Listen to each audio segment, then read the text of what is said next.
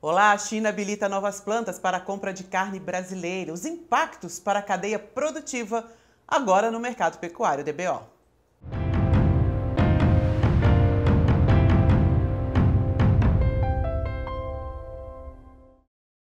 24 novas plantas de abate de bovinos são habilitadas para exportar para a China. É o maior número em um único anúncio.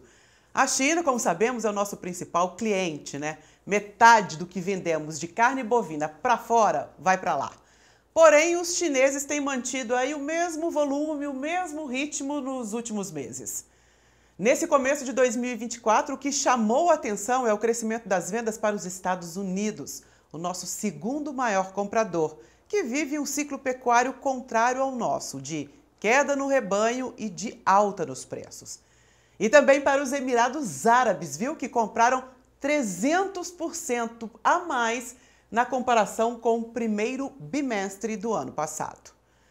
O deságio do mercado futuro em relação ao físico diminuiu. Contratos para abril, maio e junho ainda trabalham com arroba na casa dos 232 reais, mas lembrando que chegaram a 223 no final de fevereiro. Será esse um sinal positivo? Será que o mercado está enxergando uma situação melhor para esses meses? Vamos falar do preço da arroba, das exportações, com o João Otávio Figueiredo, analista da Datagro. João, muito obrigado pela presença aqui no Mercado Pecuário DBO. Depois de dois meses consecutivos aí de pressão no preço da arroba, esse março começa um pouco mais suave. É um sinal de que as coisas vão se acalmar ou ainda há espaço para essa pressão? Olá, Juliana, todos os amigos do canal DBO, sempre um prazer falar com vocês e dividir um pouco a visão da TAB sobre o que está acontecendo no mercado do boi.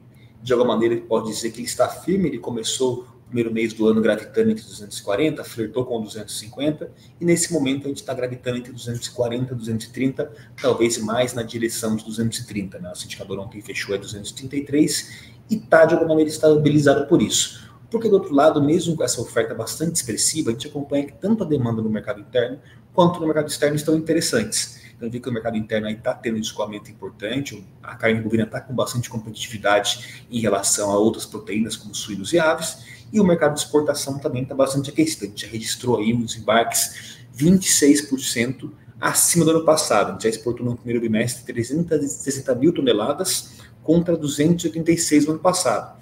Então, em termos de precificação lá fora, a gente não registra também preços tão interessantes. Até a média da tonelada exportada do Brasil está 6% abaixo do ano passado. Mas o Brasil está escoando. Então, em termos de precificação, realmente não está um colosso, mas os mercados até que de maneira estão trabalhando de maneiras equilibradas nesse momento. Ainda falando de exportações, essa notícia de novas plantas habilitadas para a China. O que, que de mais importante essa habilitação traz, já que a China é nosso principal cliente, mas tem mantido aí um pé no freio, né? Quando a gente fala em volumes, em aumento na quantidade das compras, mantendo aí uma regularidade, vamos dizer assim.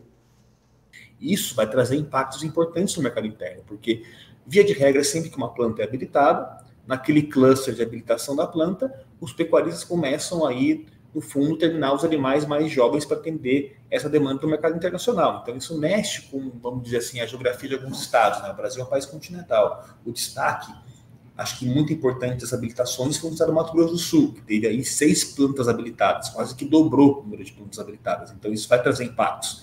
Então, alguns bois que chegavam de outros estados para atender as plantas habilitadas aqui em São Paulo, vai trazer uma nova dinâmica. Outro questionamento importante que a gente tem que fazer, que nesse momento a China amplia o número de fornecedores de carne de boi dela para o seu mercado. Então, ela, no fundo, pode ganhar também um poder de barganha interessante de negociação no preço nesse momento não está tão positivo. A China, nesse momento, não é o melhor pagador de carne de preço de carne tonelada exportada fora para o Brasil.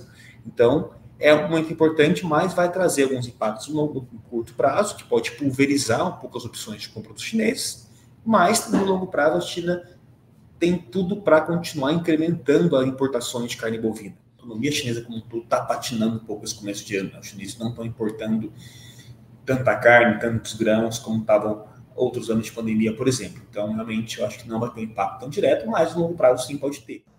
Voltando a falar do momento, João, o mercado futuro, que apresentou um deságio enorme em relação ao físico no final de fevereiro, começo de março, agora voltou ali a trabalhar conjuntamente. É sinal de que o mercado está mais otimista, que, as, que os preços, que a situação pode melhorar ali para abril, maio. Como é que você vê isso? Eu acho que o tom do mercado esse ano, o mercado depois do ano de 23 de muita volatilidade, depois de 290 veio para baixo, 200 voltou para 250. Esse ano que tem ditado o ritmo do mercado é mais equilíbrio. Né? Acho que as margens estão sendo ajustadas tanto para os pecuaristas quanto para a indústria. Então, o pessoal tem feito conta na ponta do lápis.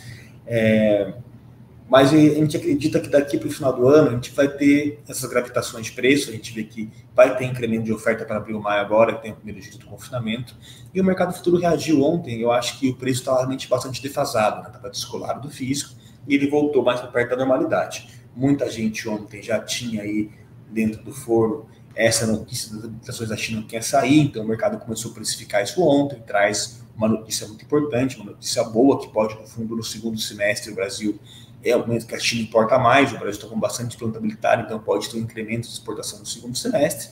E, de fato, as cotações também dos insumos são muito importantes. Né? O milho é um ponto muito importante nessa conta. À medida que o milho também tem uma recuperação, o boi também acompanha isso. Né? Tem bastante ligações da precificação do boi para confinamento com os insumos principalmente que o milho oferece. Então, o mercado voltou ontem para um patamar, eu acho mais equilibrado e deve continuar gravitando assim até o final do primeiro semestre e o segundo semestre ainda tem muitas incertezas que a gente vai ver como é que vai ser esse mercado lá fora e como vai andar a economia brasileira também. A gente recebeu aqui algumas perguntas e uma delas tem a ver com o mercado futuro. É o Abílio Silva. O mercado futuro reagiu. Qual vai ser o melhor momento para travar os preços em 2024? Como é que a pessoa analisa isso? Isso é uma questão bastante delicada e muito particular de cada fazenda. Né? O que a gente recomenda aqui dos nossos parceiros, clientes, a gente não trabalha com travas em bolsas, né? não é esse nosso trabalho, somos analistas de mercado, não operamos mercado futuro, mas o que eu posso contribuir é que é importante para a cadeia pecuária ele travar sua margem. Se ele está ali vendo o seu custo da roupa produzida, se ele acha que está interessante e travou lá o preço de 230, ele consegue ter uma margem interessante, eu acho que esse é o melhor momento. Então ele está ali avaliando duas coisas importantes Primeiro, o custo que está comprando o boi magro, para entrar no seu confinamento, se for o caso dessa produção. Segundo, o preço dos insumos. Então, ele faz ali essa composição, como é que está o custo da sua produção. Se dá bem margem, eu acho que é importante ter algum tipo de trava nisso, porque traz segurança para o mercado. Então, eu acho que esse é muito adequado, né? Olhar a particularidade de cada fazenda, olhar o seu custo, garantir o margem, ele tem que travar. Até quando o abate de fêmeas vai impactar os preços, Eduardo Guzmão? É o ciclo pecuário soberano, né? ele continua impactando os preços. Né? A gente vê que esse abate de fêmeas tão elevado nesse primeiro bimestre deve continuar até o final do primeiro semestre, então deixando aí que o preço continua bastante pressionado e até no viés de baixa nesse momento. Então a gente tem uma perspectiva que para o segundo semestre a gente pode começar a observar já um início de virada do ciclo pecuário. A gente pode começar a ter umas fêmeas e de fato isso vai se materializar com mais força em 25. Então, as fêmeas são soberanas e comandam bastante a dinâmica desse mercado. Então, para 25, a gente já espera que, de fato, o ciclo pecuário já tenha registrado uma virada, e aí a gente vai ter um cenário com menor oferta e, consequentemente, pode aí ter melhores preços também na roupa do boi no Brasil como um todo. João, a gente fala aqui no boi em São Paulo, aí em negócios em torno de 235 até 230 reais. Como é que está o cenário aí Brasil afora, principalmente com o indicador da Tagro, né? Ajudando a trazer essas informações e trazer um panorama real desse Brasil tão grande. Então, hoje a gente divulga cotações do nosso indicador do boi já bate aqui para nove estados, né? Então, que São Paulo ontem fechou a em torno de 233, com a mínima de 225, e teve alguns negócios esporádicos na casa de 240. Então, o mercado está firme nesse patamar, já teve mais na direção dos 240, agora ele está mais com os negócios sondando em torno de 230, 235. Então é assim que o mercado está operando nesse momento. E outros estados também têm é, cotações pressionadas, tais como São Paulo. Né? A gente vê que Minas, em algum momento, conseguiu aí ter gado mais no patamar de São Paulo. Alguns gados de Minas estavam bastante os confinamentos, as indústrias também por aqui.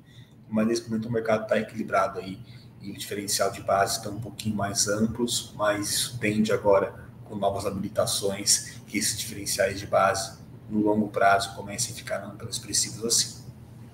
Agora qualquer pessoa pode colaborar, entrar no aplicativo e aumentar nessa circulação de informações que é tão importante para pecuaristas do Brasil todo. A gente tinha um plano de assinatura, agora fica 100% gratuito, então todos podem acessar o nosso indicador. É, tem cotações em tempo real ali para abate, para reposição, para insumos, indicadores de tempo real também de bolsa, pode acompanhar ali. Então, fica aí aberta a nossa plataforma e o convite a todos vocês participarem também e contribuírem com essa cadeia muito importante. E realmente a gente está buscando trazer para o mercado informações de qualidade, porque a pecuária brasileira merece. A gente é muito carente de dados ainda em comparação à agricultura. Outros mercados que a gente acompanha, como soja, milho, cana, que é da agro, a gente tem uma riqueza muito mais importante de dados. E a pecuária de precisão que a gente tem feito hoje no Brasil ela realmente demanda isso. A gente está muito contente de poder ofertar dados com qualidade que vão auxiliar a cadeia de maneira integrada. João, te agradeço imensamente a presença. Muito obrigado, Juliana, como sempre conosco, estou à disposição aqui e até a próxima. Você que está assistindo esse vídeo no YouTube, não deixe de curtir, de compartilhar e também de seguir a DBO. E se você tem dúvidas, mande pelo nosso Instagram, arroba portal, DBO. As notícias mais relevantes da pecuária de corte você confere diariamente no portal DBO.